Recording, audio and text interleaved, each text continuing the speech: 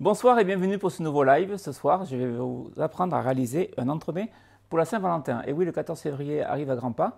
Euh, c'est dans quelques jours, donc on va pouvoir réaliser euh, un entremets pour les amoureux.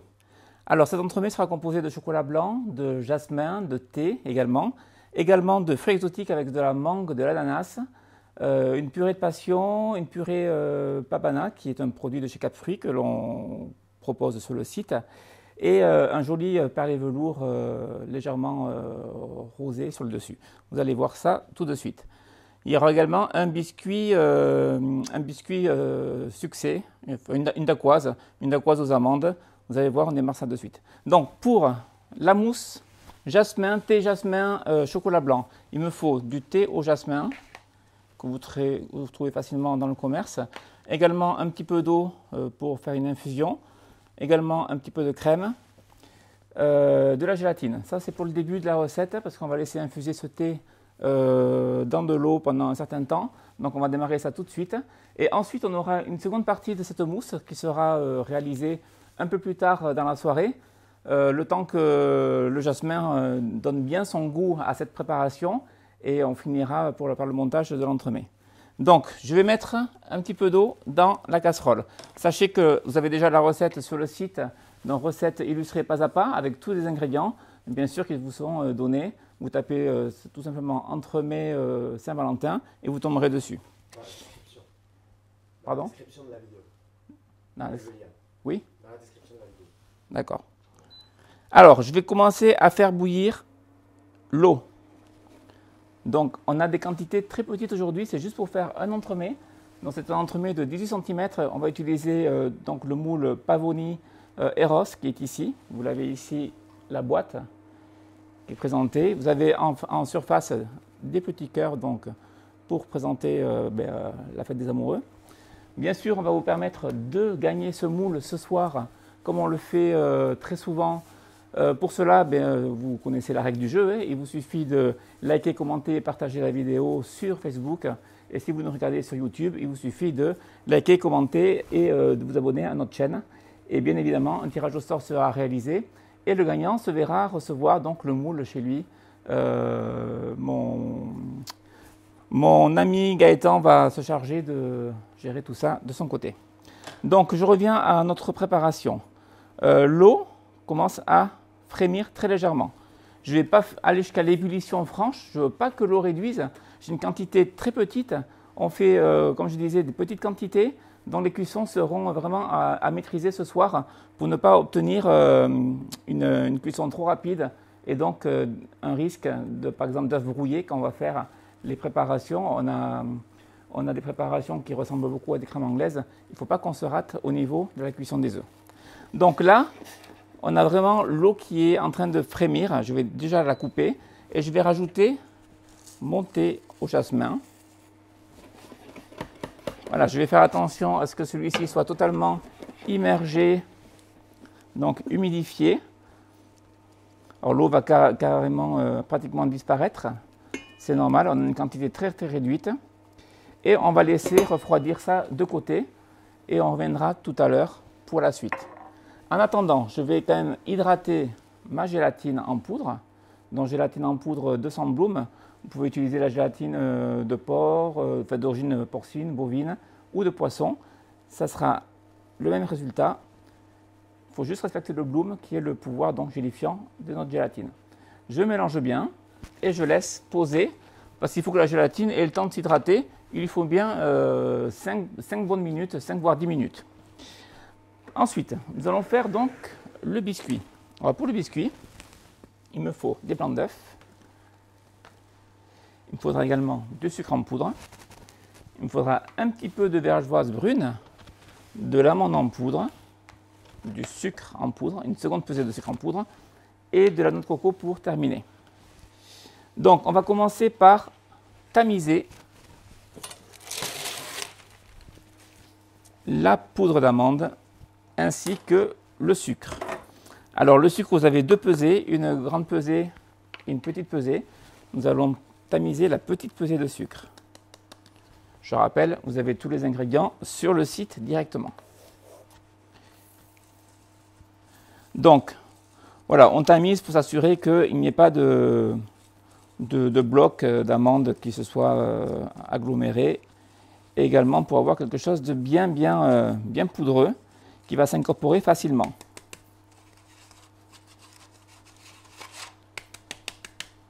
c'est une formalité, mais il faut le faire. Donc, on va garder ça de côté. Je vais prendre mon batteur et je vais y verser dedans les blancs d'œufs. Ce sont des blancs d'œufs maturés, c'est-à-dire des blancs d'œufs qui ont vieilli au frais et que j'ai sortis euh, une heure à deux heures à l'avance pour qu'ils soient à température ambiante. Ils, monteront bien mieux. Donc je les intègre dans la cuve du batteur. Sachez qu'on ne peut pas faire une quantité plus petite que la quantité que je propose ce soir. Ça va nous permettre de faire deux biscuits. Alors il y a un biscuit que vous pouvez conserver au congélateur pour un autre entremets. Par contre, euh, réduire les quantités par deux, vous allez, euh, partez droit à l'échec. Les quantités seront vraiment trop petites, on ne pourra pas obtenir la consistance désirée. Donc vous êtes obligé de faire deux biscuits pour euh, cet entremets-là. Donc je vais commencer par mélanger les blancs. Je vais les faire mousser progressivement. Et également progressivement, je vais rajouter mon sucre en poudre et ma vergeoise. Donc blanc d'œuf, température ambiante, maturé, c'est-à-dire vieilli quelques jours au frigo. Donc bien sûr, le blanc séparé du jaune, vous gardez les blancs dans un petit pot et ils vieillissent. Voilà, ça commence à, mousser, on peut le voir en surface. On va accélérer un tout petit peu et là je vais commencer à rajouter mon sucre en poudre. Et également ma vergeoise. Donc la vergeoise c'est un sucre légèrement humide, c'est pour ça que je le mélange, sinon il s'agglomère un petit peu en bloc.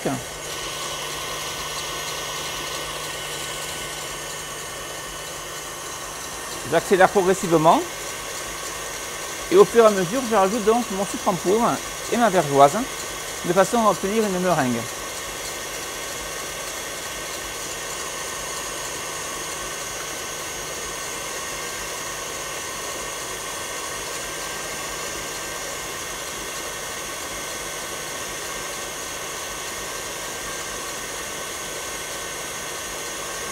Allez, j'accélère encore un tout petit peu.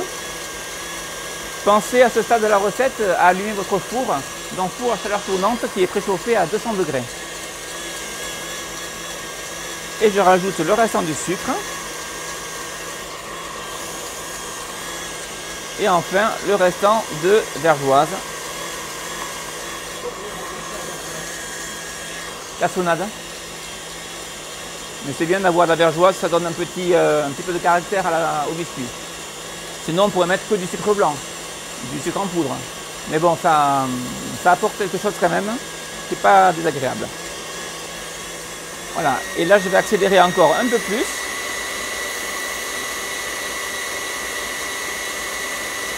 Jusqu'à ce que j'obtienne une meringue donc, qui se tienne. Le but étant que les, sucres fondent, se dissous donc dans les blancs en neige. Donc ça va aller assez vite.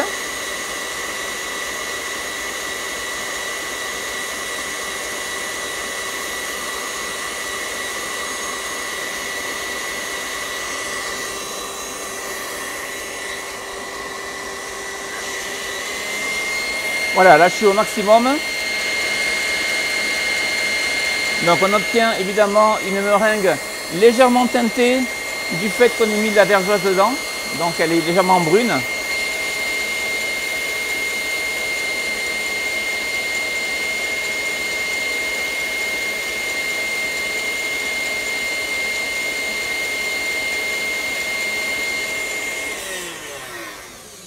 Et voilà, on va pas aller plus loin. Ce que je cherche à obtenir, c'est une meringue qui se tienne quand même voyez, on a le fameux bec d'oiseau. Hop, on va peut-être mieux le voir. Je le mettrai oui, devant mon tablier. Hop, voilà, comme ça. On voit bien le bec d'oiseau ici. D'accord? Voilà, ça c'est un signe qui, vous dit si votre meringue est suffisamment montée ou pas. Ensuite, à cette préparation, je vais incorporer donc mes poudres, non les poudres restantes, à savoir la poudre d'amande et mon sucre en poudre qu'on a tamisé juste avant. Alors je vais les incorporer en, deux temps. On va pas tout mettre d'un coup. Voilà. Je commence à mélanger.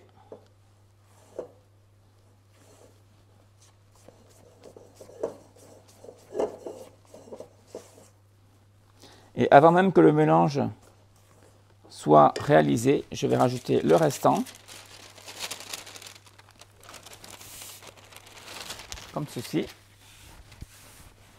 Et je vais pouvoir donc terminer mon mélange jusqu'à ce que les poudres soient totalement incorporées.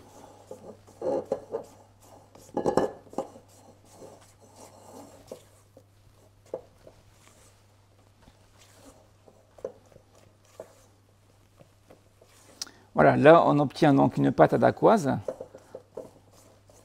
donc dacquoise amande, et on va améliorer cette pâte en y incorporant de la noix de coco. on ne va pas l'intégrer dans, la pâte, mais on va le saupoudrer la pâte de noix de coco râpée.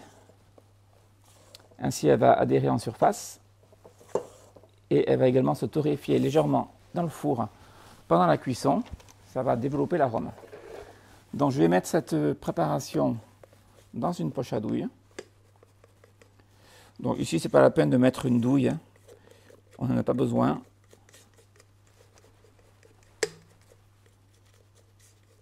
Voilà, on met tout. Donc là, on a la quantité pour faire deux disques. Deux disques d'environ 18 cm de diamètre. Et on va garder dans cette poche de côté pendant quelques instants, le temps de préparer notre papier de cuisson. Donc j'ai pris une feuille de papier sulfurisé et j'ai un cercle inox de 18 cm de diamètre. Je vais m'en servir juste pour faire un tracé. Donc avec un crayon à papier. J'appuie bien fort pour qu'on puisse voir le coup de crayon par transparence. Voilà. Petit détail important, je retourne bien sûr mon papier de façon à ce que la mine de crayon ne s'imprime pas sur le biscuit.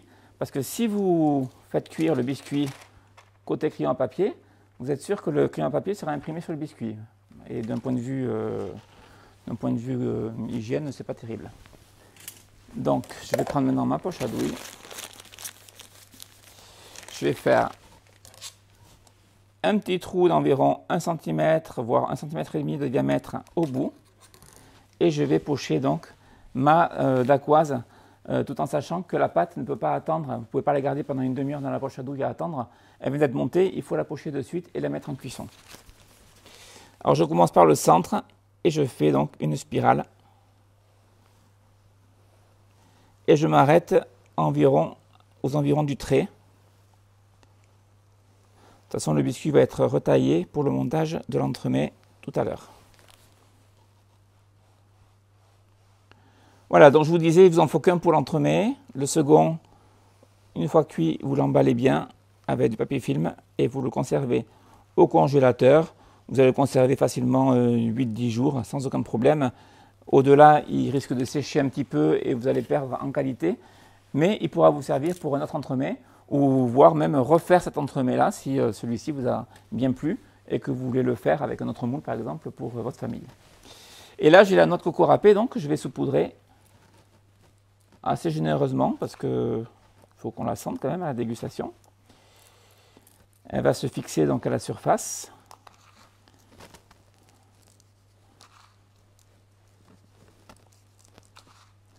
Dans votre four est à 200 degrés. Surtout, il faut enfourner dans un four préchauffé. Je vais mettre ma feuille sur une plaque, comme ceci. Et là, j'ai plus qu'à enfourner pour 12 minutes.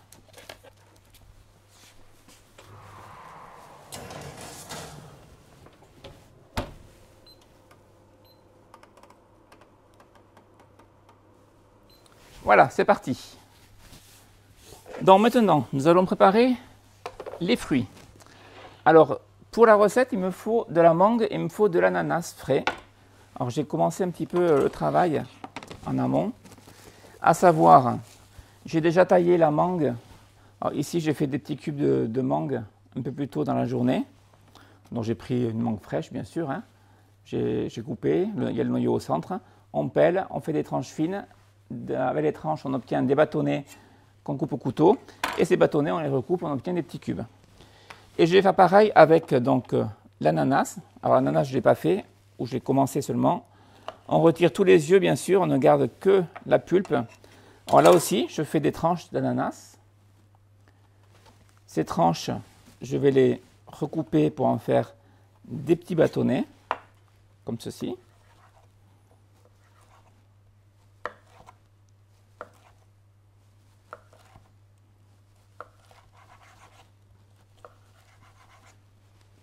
Voilà.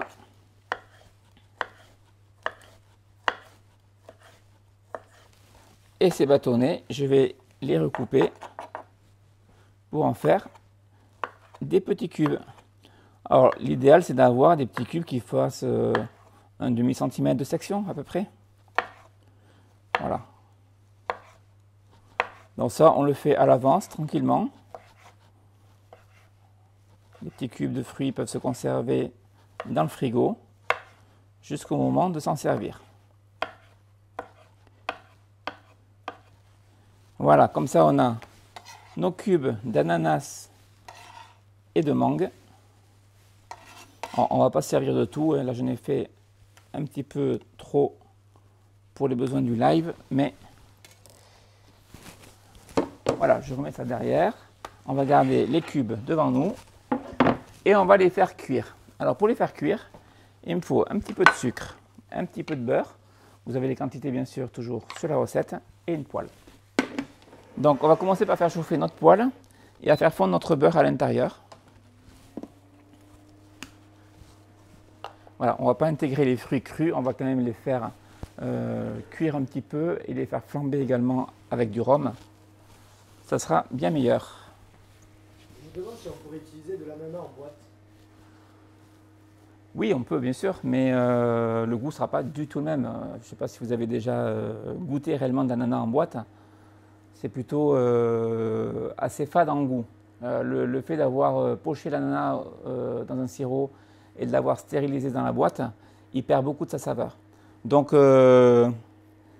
pouvoir le faire, oui, je ne peux pas vous en empêcher. Mais évitez, utiliser l'ananas frais, on en trouve toute l'année. Euh, c'est facile à trouver euh, chez le primeur. Et euh, un ananas frais, ben, c'est quand même, il y a l'acidité du fruit, c'est sucré. dans la boîte, vous allez avoir quelque chose de beaucoup plus fade. Donc, à vous de voir. Vous pouvez, mais je ne vous recommande pas. Donc, le beurre est en train de fondre. Je vais y rajouter mon sucre. Et on va commencer à faire un petit caramel. Donc là, je peux augmenter le feu un petit peu.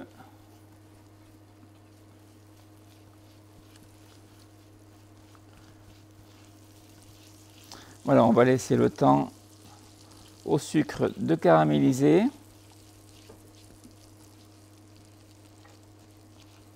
Ensuite, on va rajouter donc nos cubes de fruits. On va cuire juste deux minutes, assez rapidement. On ne veut pas obtenir une compote, on veut garder les fruits euh, dans la forme d'origine, c'est-à-dire des petits cubes. Et on veut à la dégustation sentir ces cubes de fruits euh, dans la bouche. Donc on ne va pas trop les cuire.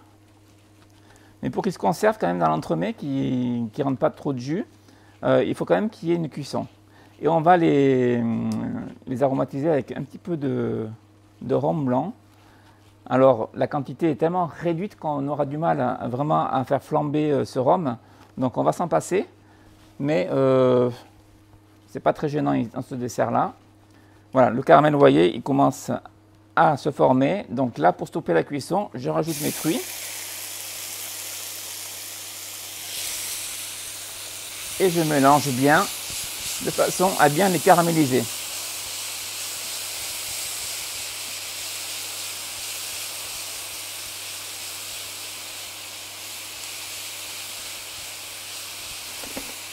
Voilà, on va laisser donc cuire pendant euh, une à deux minutes.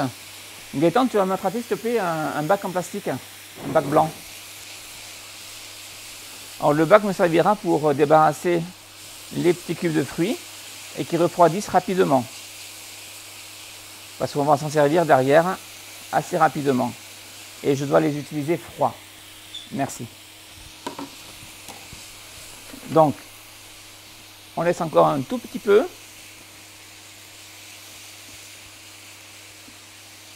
Je vais montrer à la caméra ce qu'on obtient. Voilà. Là, je vais pouvoir ajouter donc, le rhum. vous voyez, il y en a très très peu. Hein. Je mélange bien.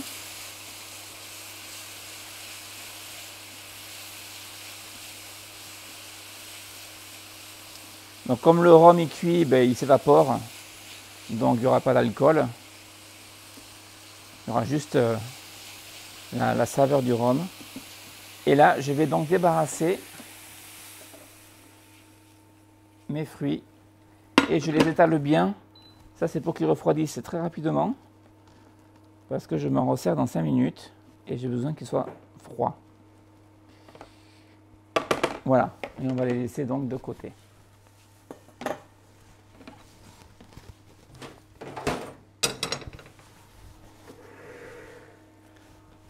Voilà, donc ça,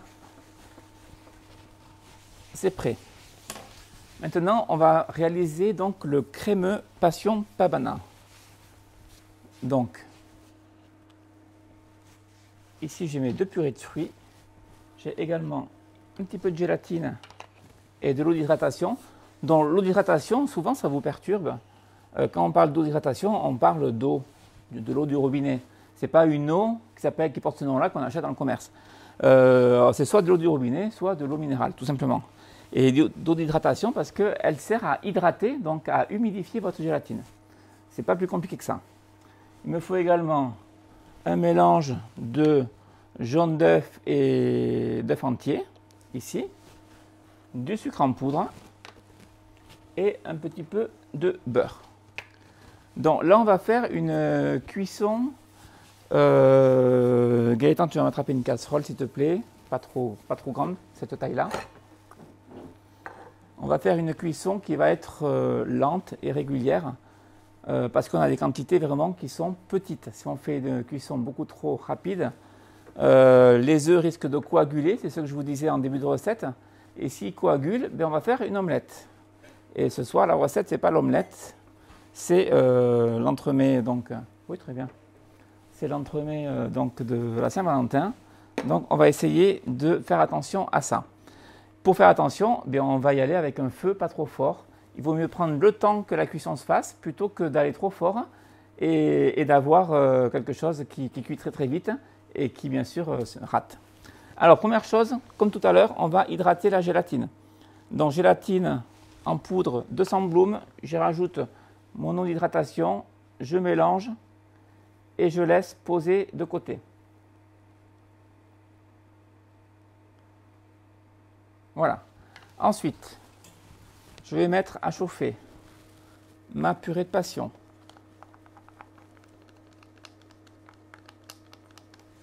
Ma purée pabana, donc qui est une purée euh, composée de différents fruits. Il y a entre autres de la banane dedans. C'est une purée qui est proposée par la maison Cap Fruits. Cap fruits ou euh, ravi fruits J'ai un doute. Gaétan. Ouais. C'est ravi fruits. Donc, maison ravi fruits. Que je ne vous dise pas de bêtises. Voilà. Donc, on va laisser chauffer tout doucement à puissance 6.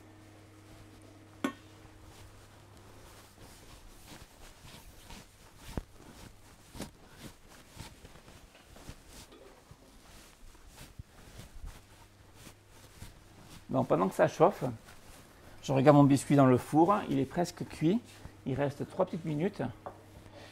On va mettre donc euh, le mélange d'œufs et de d'œufs entiers donc et de jaune d'œuf dans un petit saladier. Un petit récipient, peu importe ce que vous avez à la maison. On va y rajouter le sucre en poudre et on va blanchir donc au fouet on va faire en quelque sorte une crème anglaise, euh, sauf que le, lait est remplacé par la purée de fruits. Et on a toujours donc des œufs, du sucre.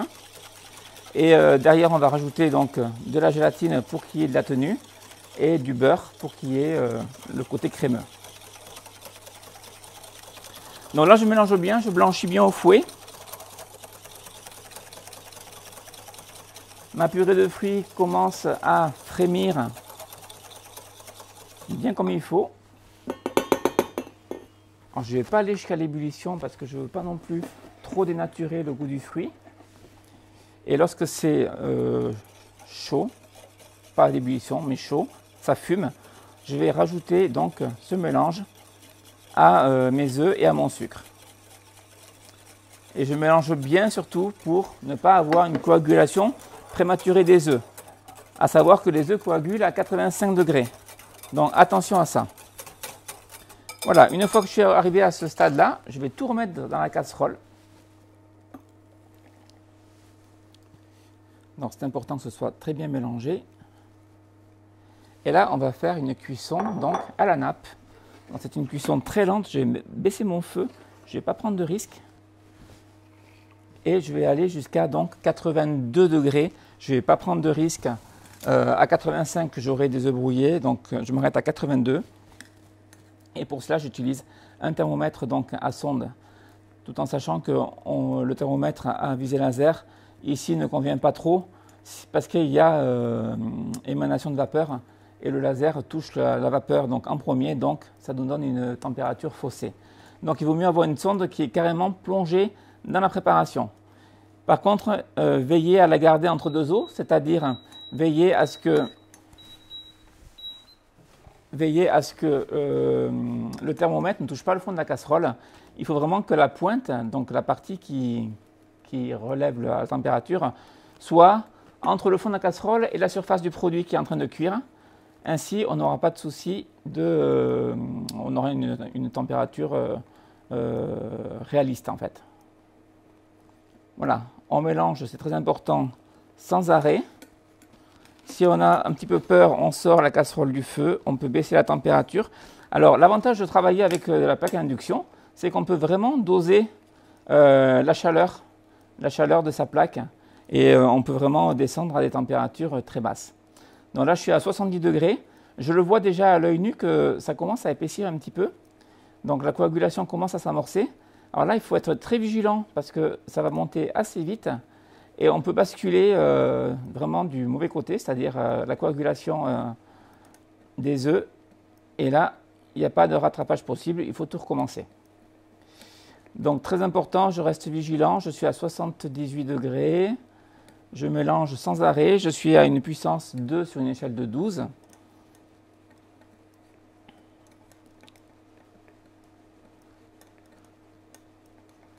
Voilà, 78. J'arrive à 79. Voilà, je reste prudent.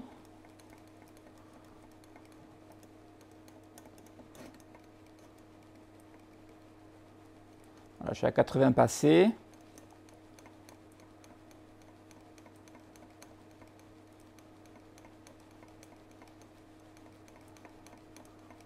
je suis à 81, je vais arrêter là. Je ne vais pas prendre de risque. 81,3. Je sors ma casserole du feu. Je continue à mélanger.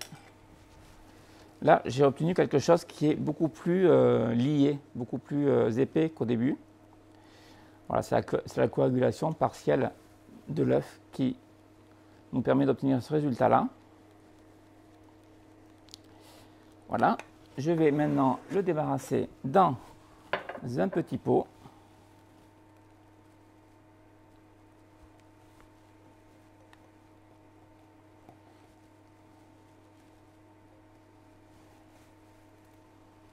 Tout simplement. Je vais pouvoir y rajouter ma gélatine. Alors n'oubliez pas la gélatine, sinon votre crémeux n'aura pas la tenue suffisante.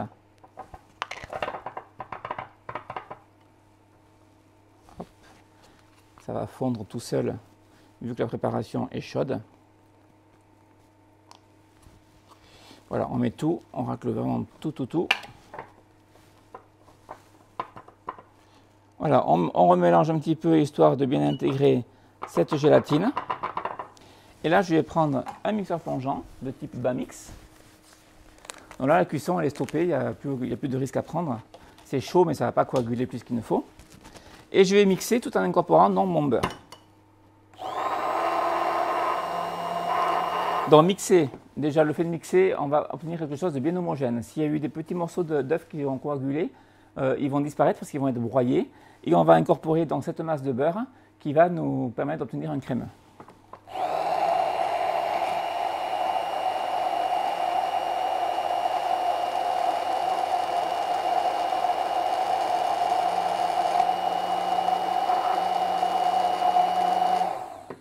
Alors dans l'idéal, la masse de beurre, il faudrait l'incorporer dans une préparation qui soit un peu moins chaude. Euh, en raison de... Là on est en live, on n'a pas trop le temps d'attendre. Euh, je vais l'incorporer tout de suite, mon beurre. Sachez qu'à la maison, vous pouvez attendre que la température soit d'environ 35-40 degrés pour incorporer votre beurre. Puis vous mixez à nouveau au mixeur plongeant de façon à bien incorporer ce beurre-là.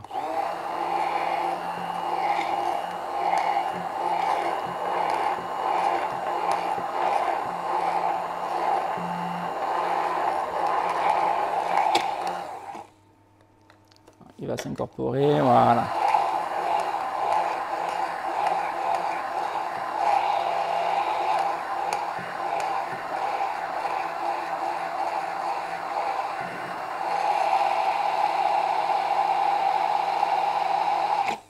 Voilà, donc lorsque le beurre est incorporé, le crémeux est prêt à être utilisé. Dans l'idéal, il faut que vos fruits, donc qu'on a flambé juste avant, soient refroidis, parce que c'est maintenant qu'on va s'en servir.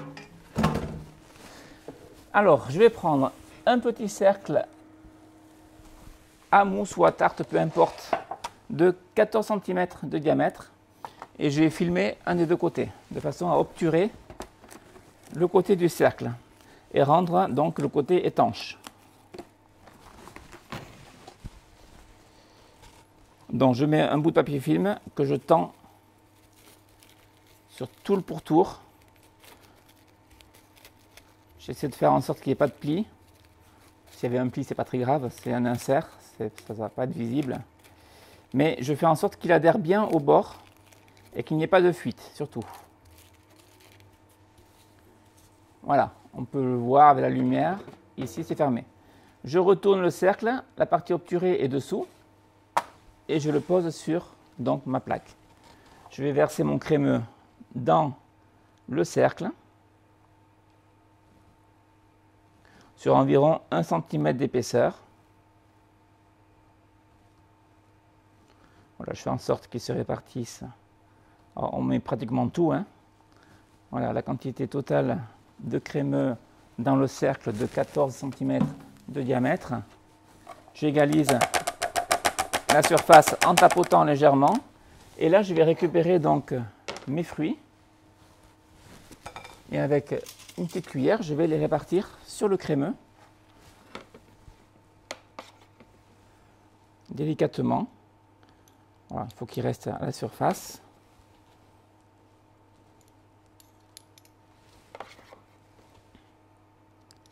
et ces fruits qu'on va retrouver après à la dégustation.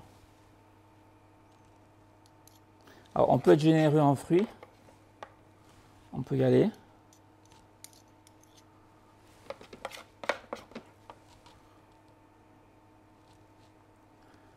Ensuite, cet insert, une fois qu'il sera terminé, on va le mettre dans le congélateur. Alors sachez que l'insert peut être réalisé bien à l'avance. Vous le conservez dans le congélateur jusqu'au moment du montage de l'entremet. Vous le mettez dans le congélateur, une fois qu'il est figé, vous le filmez bien et vous le gardez plusieurs jours, il n'y a aucun souci. Ça, ça vous permet de réaliser votre dessert vraiment sur, euh, sur un laps de temps un peu plus long que sur une seule journée. Euh, ça vous met déjà moins la pression à la maison, plus facile, c'est plus abordable. Et c'est une technique à, adopter pour tous les entremets euh, en général, que ce soit pour faire une bûche à Noël, pour faire un, un gâteau d'anniversaire pour les enfants. Vous faites votre gâteau progressivement. Vous faites d'abord le biscuit, après vous faites l'insert, après vous faites la mousse qui compose principalement votre, votre, entremet et vous faites le montage. Et vous faites ça plusieurs jours à l'avance, vous le gardez au congélateur et vous faites la finition que le jour J. Comme ça, ça passe plus facilement et vous avez moins de stress. Donc, on obtient donc ceci. si je secoue un petit peu, ça tremble légèrement, c'est normal, c'est une consistance un petit peu euh, de mayonnaise, on, pourrait comparer ça. Et là, on va laisser donc congeler euh, ceci donc dans un congélateur classique ou dans une cellule, euh, pour ceux qui ont une cellule chez eux. Il y a des petits chanceux qui ont ça à la maison, bien que ce soit assez rare. Alors là maintenant on va récupérer donc mon thé au jasmin. Donc il y a pratiquement plus du tout d'eau. Tout, tout, le thé, alors c'est assez sombre, je vois à l'image, tout le thé a été absorbé, euh, toute l'eau a été absorbée par le thé. Et là je vais rajouter donc euh, la crème. Donc j'ai une petite pesée de crème ici. Alors c'est important de laisser infuser, de laisser poser. On peut même faire cette infusion la veille de façon à ce que le thé euh, donne bien tout, euh, tout son parfum. Voilà, là je vais remélanger.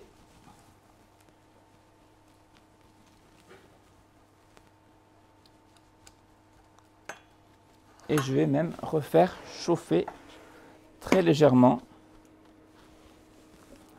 Juste de quoi faire chauffer la crème. Là, ce qu'on cherche à extraire, c'est vraiment la saveur du thé. C'est pas, euh, on ne cherche pas à avoir euh, une préparation liquide euh, qui a un parfum. On cherche à obtenir le, concentré du thé. en parallèle, je vais sortir le biscuit. Rappelez-vous, il a sonné tout à l'heure. On l'a un petit peu oublié, mais il est ici. Donc le biscuit d'aquoise est totalement cuit. Vous avez vu la, la noix de coco a torréfié en surface. Donc elle a développé son arôme et ça va vraiment apporter un, très bon goût. Là, on va laisser de côté refroidir. Alors, pendant que ça, ça se fait, je vais aller chercher un petit récipient. Donc je vous laisse surveiller ma casserole sur le feu. Je reviens.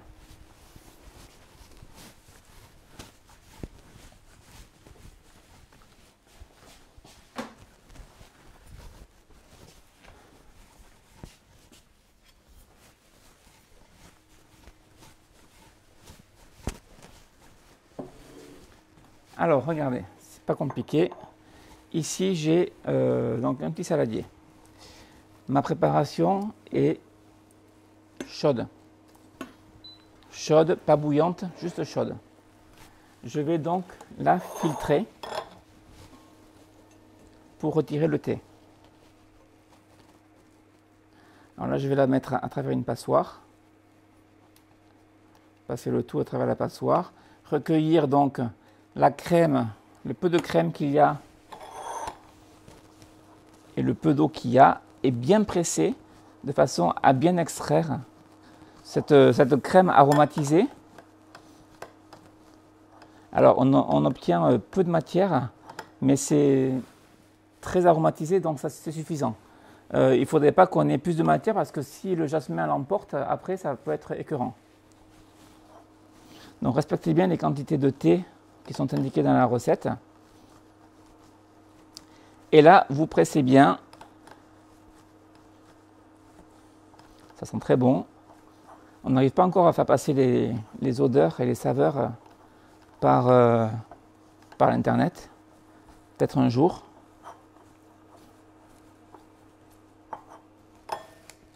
Voilà. Donc on peut le voir, on a recueilli un jus légèrement brunâtre,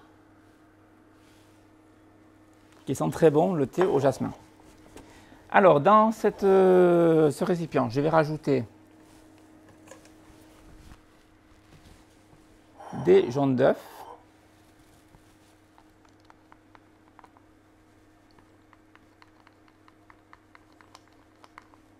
Voilà, je mets tout, c'est important de ne pas modifier les proportions. Je vais rajouter également du lait.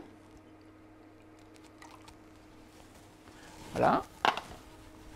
Là, je vais mélanger tout ça. Et on va prendre une petite casserole et on va faire une seconde cuisson, un petit peu comme tout à l'heure. Donc on va y aller très doucement pour ne pas faire des œufs brouillés. On va le faire donc à la façon d'une crème anglaise. Alors là, on est en train de réaliser la bavaroise, donc thé au jasmin, vanille et chocolat blanc.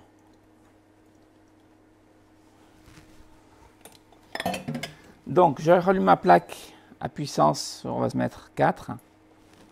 Et on va cuire tout doucement, à la façon d'une crème anglaise. Je reprends mon thermomètre sonde pour contrôler vraiment la température. Je vais mettre à 6 pour commencer, le temps que la température monte, et je réduirai vers la fin pour ne pas obtenir euh, de, morceaux d'œuf dedans. Voilà.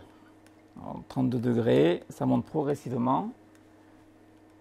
À côté, j'ai mon chocolat blanc qui est ici dans un verre doseur, ma gélatine qui est hydratée et un petit peu de vanille. Alors la vanille, on peut mettre soit de la vanille en poudre, soit de la vanille liquide. Voilà, il faut un gramme. On va faire euh, à peu près à vue d'œil. Mais j'ai choisi ce soir de la vanille liquide. Comme ça, il n'y aura pas de, de point noir dans ma, dans ma bavaroise. Il y aura juste le parfum. Vous voyez, je suis assis, ça monte assez vite. J'arrive vers les 50 degrés là. Je rappelle, température ne pas dépasser 82 degrés. Enfin, 85 degrés à ne pas dépasser, 82 degrés à atteindre. Le temps qu'on se dise, hop, je suis à 82, j'arrête tout, on est à 85. Donc, euh, il faut être vigilant. Là, on est déjà à 60. Et vous voyez, je mélange sans arrêt, surtout, ça c'est très important. Euh, j'arrête pas de mélanger, sinon il y a un risque de coagulation prématurée des œufs. Et là, ça serait catastrophique. Hein.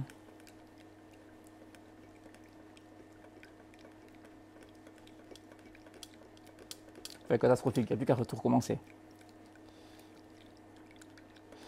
Voilà, là je vais réduire. Je me mets à 3. Je vois que ça commence à fumer, donc à chauffer. Je suis à 71 degrés. Je ne sais pas si on voit, Gaëtan, l'image, l'affichage digital du thermomètre.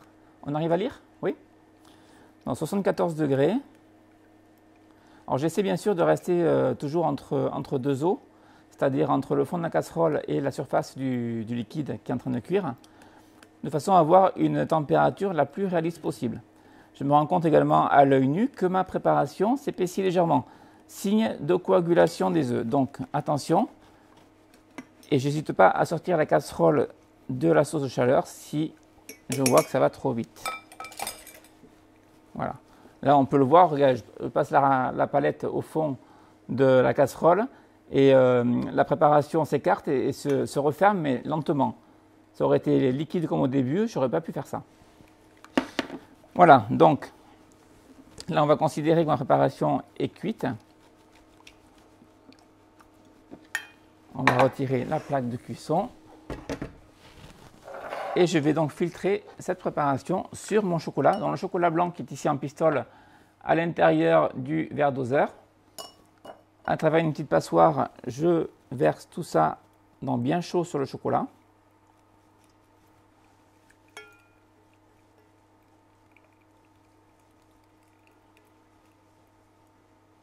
Voilà. Donc on récupère tout.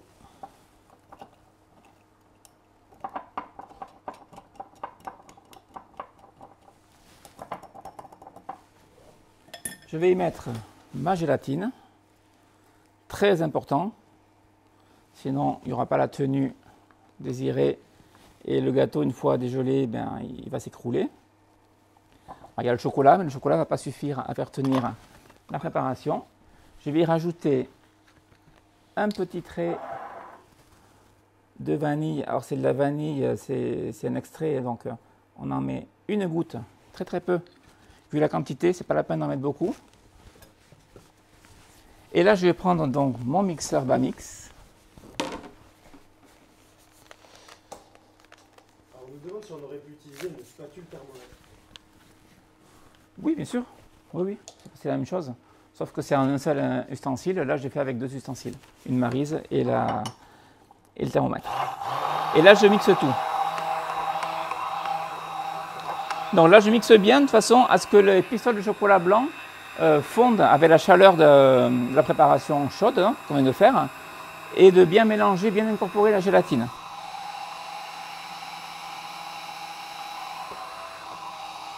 Là, on est encore sur une quantité pour un moule, le moule Pavoni, donc le moule Pavoni euh, Eros que je vous permets de gagner donc cette semaine. Euh, c'est un moule en silicone avec un motif cœur à la surface. Je vais vous le remontrer. Et euh, donc ce moule qui, convient parfaitement bien pour le thème de ce soir, qui est donc la Saint-Valentin. Hop. j'arrive, je débarrasse ça là, dans un bac, sur une surface assez, euh, assez large et sur une épaisseur assez fine pour que ça refroidisse très rapidement. Alors, je vous parler du moule, voilà, le fameux moule avec tous les petits cœurs en surface. Voilà, c'est un moule de 18 cm. Donc, vous pouvez le gagner ce soir. Je vous montre le boitage. Hop, voilà. Donc, pour euh, le gagner, je vous redonne euh, les règles du jeu. Ce n'est pas compliqué. Il vous suffit de liker, commenter partager euh, si vous nous regardez sur Facebook. Et si vous nous regardez sur YouTube, il vous suffit de liker, commenter et de vous abonner à notre chaîne. Voilà, comme ça vous serez prévenu de toutes euh, nos vidéos, tous nos lives. Et euh, ça vous permet de participer et bien sûr de gagner, parce que des gagnants, bien sûr qu'il y en a. je vois passer des messages assez régulièrement, des personnes qui nous envoient leurs coordonnées pour recevoir leur lot. Donc ça, on va le laisser refroidir. Alors je le remue volontairement pour accélérer un petit peu le processus de refroidissement. Là, je peux utiliser un thermomètre à visée laser parce qu'il n'y a pas d'émanation de, vapeur. Donc j'ai un relevé de température réaliste. Je suis à 38 degrés. On va essayer de le faire descendre encore de quelques degrés. Mais pendant ce temps, on va monter la crème fouettée. Donc Gaëtan, tu vas aller me chercher, s'il te plaît, dans le frigo, la crème, la, la crème fleurette. la crème fleurette, qui est une crème liquide à 35% de matière grasse que l'on trouve assez facilement dans le commerce. Cependant, euh, il y a des personnes qui ont du mal à en trouver encore euh, de nos jours. Donc, euh, on a eu la fabuleuse idée de proposer dans notre boutique, si vous en voulez, vous avez ça en brique de 1 litre. Voilà, ça c'était pour la petite info. On va récupérer donc un fouet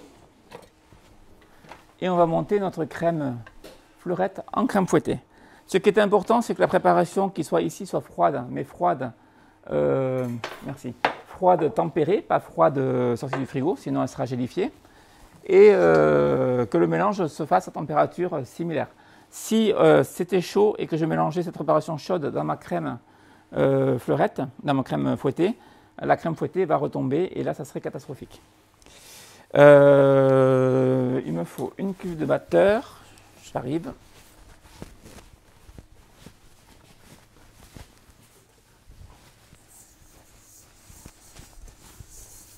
Voilà, une petite cuve. Vous pouvez la mettre également dans le frigo ou le congélateur pour qu'elle soit bien froide pour euh, faciliter euh, le, foisonnement de la crème. Voilà, on met la crème donc qui est bien froide dans la cuve et on va la monter. Mais on ne va surtout pas la, monter trop, serrée, trop ferme. On va la laisser souple pour avoir une, une mousse au final, une bavaroise qui va être vraiment euh, bien lisse et bien fluide. Ce n'est pas pour autant qu'elle aura une moins bonne tenue. Elle aura une tenue très très bonne une fois qu'elle sera prise, mais au moins on, va éviter les, bulles d'air et euh, on aura un démoulage qui sera beaucoup plus, euh, beaucoup plus lisse, beaucoup plus parfait. Voilà. Pendant ce temps, je continue à remuer mon bac pour que ça refroidisse. On était à 38 et on est à 32. Là, on est pas mal si je touche, j'ai encore un peu tiède au toucher.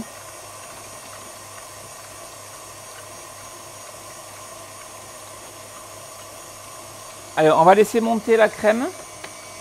On se retrouve dans quelques secondes.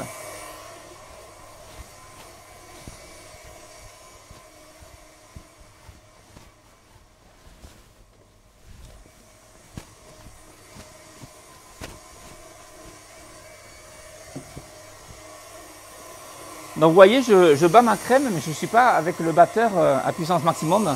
Ça va monter quand même pareil, sauf que ça va être un peu plus long, mais au moins je peux maîtriser euh, la texture de ma crème. Et ce que je vais faire surtout, c'est de la monter pas jusqu'au bout, je vais la finir au fouet à main. J'aurai euh, un meilleur ressenti et je pourrai mieux obtenir la texture que je veux. Mais ça, on va revenir dessus quand j'y serai.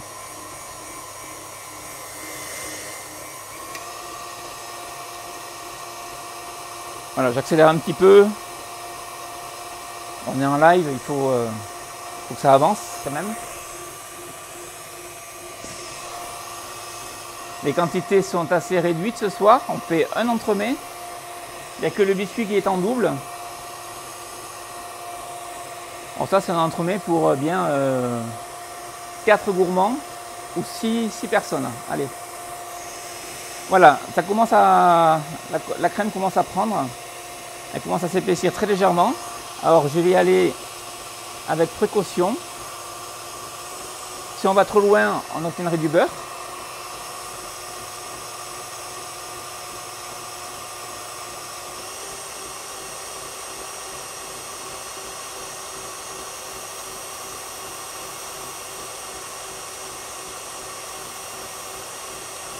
Voilà, je vais arrêter là. On est sur une crème fouettée très souple. Et là, je vais la terminer donc tout doucement au fouet jusqu'à la consistance souhaitée.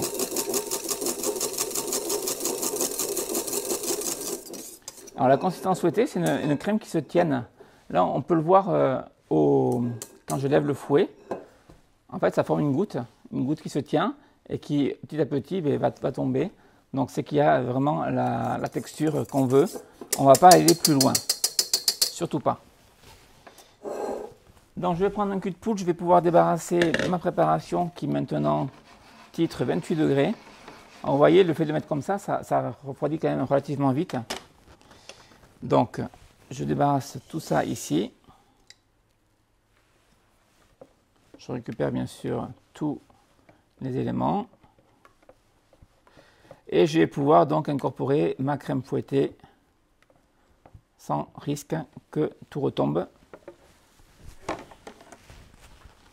Alors je vais commencer par ajouter un petit peu,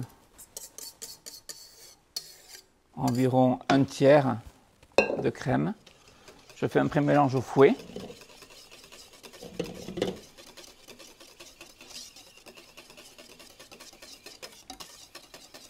Voilà.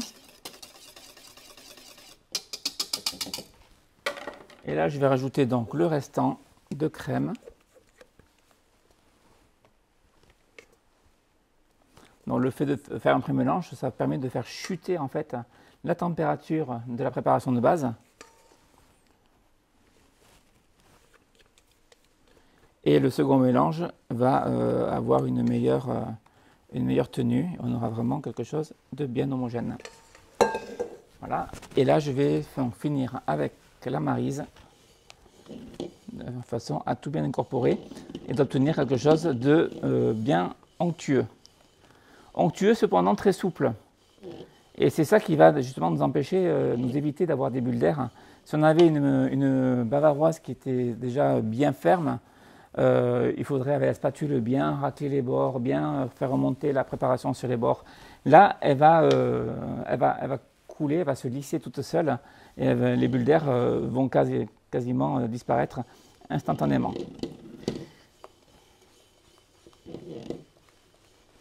Gaëtan, tu vas aller me chercher s'il te plaît l'insert qui est dans, le, dans la cellule. Parce que là, on va procéder au montage. Alors, pour le montage, on ne va pas utiliser de poche à douille, ce n'est pas utile. On va garder la préparation ici sur le côté. Je vais prendre donc mon moule Eros que je positionne bien sur une plaque. Sinon, une fois rempli, euh, si je faisais comme ceci, une fois rempli, ben je ne pourrais pas le déplacer parce que c'est un moule souple. Donc, merci. Je le mets sur une plaque dès le départ ne reste pas collé à la plaque. voilà. Et donc je vais venir euh, verser donc euh, de la préparation. Donc bavarois, chocolat blanc, thé jasmin et vanille dans le moule. Et vous voyez, c'est relativement euh, liquide, comme on peut le voir, mais au moins ça épouse bien, ça épouse bien les formes, le fond du moule. Voilà. Alors, si vous avez fait une préparation un peu trop liquide à la maison, là elle est parfaite en texture, vous avez la possibilité de placer votre moule pendant 5 minutes, 5-10 minutes euh, dans le congélateur, de façon à faire figer cette masse-là, pour éviter que votre insert coule et vienne s'écraser au fond. Et au démoulage, eh on le verrait par transparence. Ce n'est pas le but. On veut que l'insert soit vraiment euh, centré. Donc si vraiment vous avez été euh, un petit peu trop rapide et vous avez mis votre préparation un peu trop chaude dans votre crème fouettée et que cette préparation est vraiment trop liquide, là 5 minutes, 5-10 minutes au congélateur. Euh, en attendant, on va démouler l'insert et le temps que vous fassiez ça, ça c'est suffisant. On ne cherche pas à avoir une gélification totale de la bavaroise, juste une première prise. Alors ici, je sors mon insert, je passe un couteau entre le cercle et l'insert, bien sûr, pour le démouler. Je retire délicatement le cercle inox. Donc voilà, j'obtiens donc quelque chose qui fait environ un bon centimètre d'épaisseur avec tous mes fruits sur le dessus. Et je vais retourner l'insert, donc les fruits sur la partie en dessous, et je vais venir le positionner donc ici dans ma bavaroise. Ensuite, je vais venir donc compléter le dessus avec le restant de bavaroise. On n'a pas de perte, on est pile dans les quantités qu'il faut pour ce moule. Voilà, je mets vraiment tout. Et là, maintenant, je vais pouvoir mettre ça de côté. Je vais récupérer mon biscuit, un biscuit, que je vais venir retailler avec euh, avec ça c'est trop grand. Je dois avoir ce qu'il faut dans les parages. Gaëtan, s'il te plaît. Il faudrait un cercle à mousse euh, de diamètre 16. Je pensais avoir prévu ça. En fait, on va venir retailler le biscuit et on va venir le positionner sur le dessus.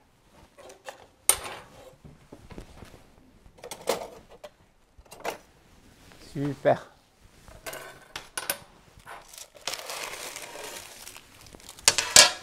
Donc, le cercle de 16. Je, vérifie qu'on soit au bon diamètre. Nickel. Je viens le positionner dessus. J'emporte pièce. Je peux m'aider avec un petit couteau pour couper tout l'excédent. Alors, il vaut mieux que le biscuit soit un peu trop grand que trop petit. Hein. Donc, euh, les chutes, c'est pas très grave.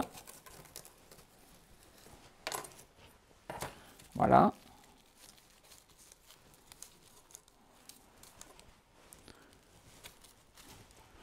Ensuite, je décolle délicatement mon biscuit.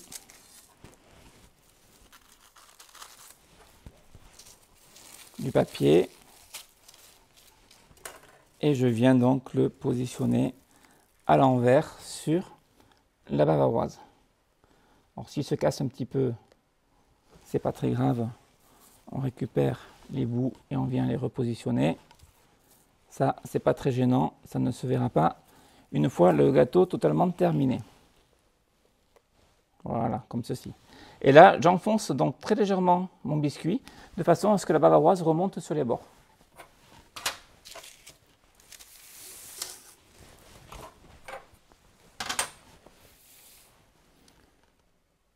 Voilà, je l'enfonce en faisant tourner très légèrement. Ensuite, avec une petite palette, je viens finir les bords. Donc vraiment lisser, là, il pratiquement pas d'utilité, mais c'est vraiment de la finition.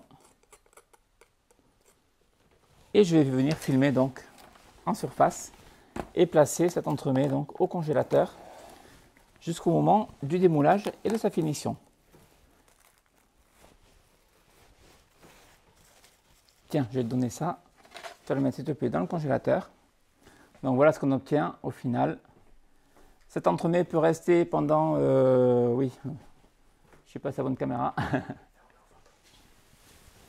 Tiens, non, au congélateur, s'il te plaît. Ouais, tu vas pouvoir me, comme tu veux. Tu vas pouvoir m'amener euh, l'autre d'ailleurs. Donc pour la suite.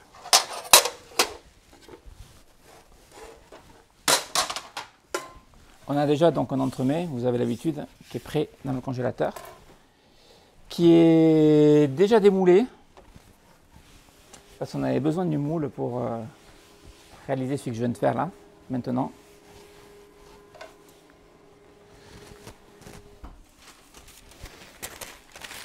Et on va faire la finition. Alors la finition, on va faire du perlé velours. Alors le perlé velours, on a un produit qui est super, c'est le Vélispray. Merci. C'est le Vélispray. Alors regardez, l'entremet qui est démoulé,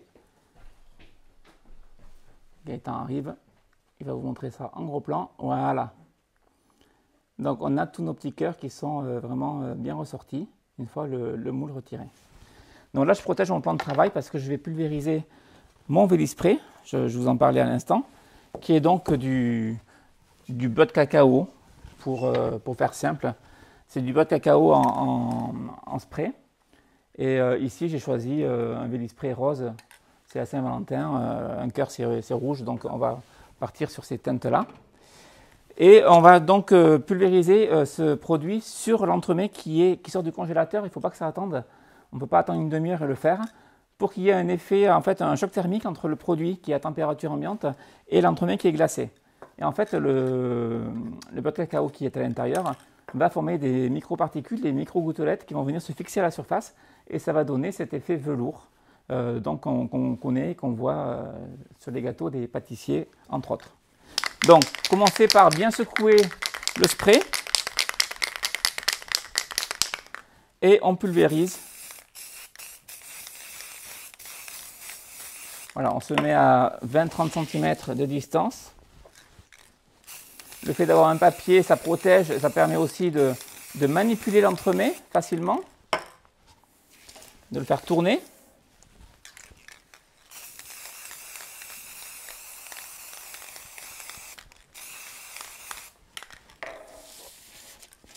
Voilà, c'est là aussi où, tout le décor se, révèle. Hein.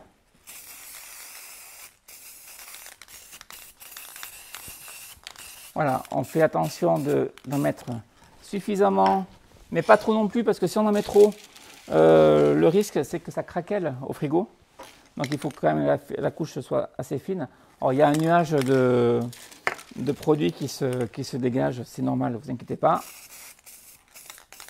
On finira le live dans le brouillard s'il faut. Voilà. Donc là, l'entremet est terminé. On ne va pas aller plus loin dans la décoration parce que ça serait dommage de cacher ces jolis cœurs. On va juste transférer euh, le gâteau sur une assiette de présentation. Ici j'ai un petit présentoir, bien sûr. Pour le manipuler facilement, j'ai mis un carton sous l'entremet.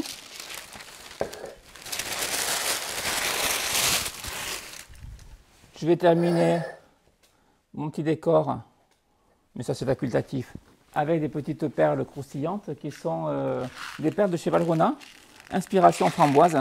Voilà, c'est une petite perle rouge que je viens positionner donc hop, ici sur mon entremet dans les petits creux. Et euh, surtout, pensez à laisser dégeler cet entremet donc, dans un frigo, pas à température ambiante, pendant 3 à 4 heures de façon à ce qu'il soit dégelé à cœur avant de le servir à vos convives. Voilà, c'était l'entremet de la Saint-Valentin que je vous proposer ce soir, donc sur des saveurs exotiques. Euh, je pense que ça devrait plaire à la majorité. C'est fini pour ce soir. On se retrouve mercredi prochain pour, euh, bien sûr, un prochain live à 18h45, toujours sur la chaîne YouTube de Meilleur du Chef. Euh, je vous rappelle que ce moule, dont le moule euh, Eros, est à gagner ce soir. Donc euh, n'hésitez pas à jouer. Vous avez jusqu'à mardi soir pour, pour participer. Il vous suffit de liker, commenter, partager sur Facebook et de liker, commenter et de vous abonner à la chaîne YouTube sur YouTube, bien sûr. Passez une bonne soirée, à très vite et, et bonne, bonne soirée. À bientôt. Au revoir.